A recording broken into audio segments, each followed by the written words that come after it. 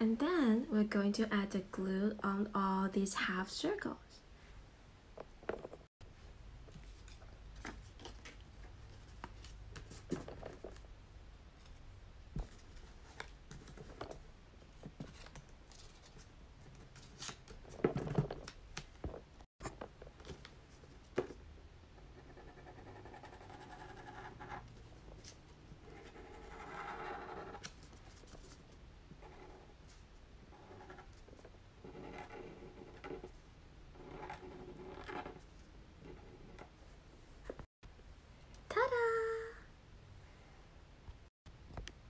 Thank you for watching.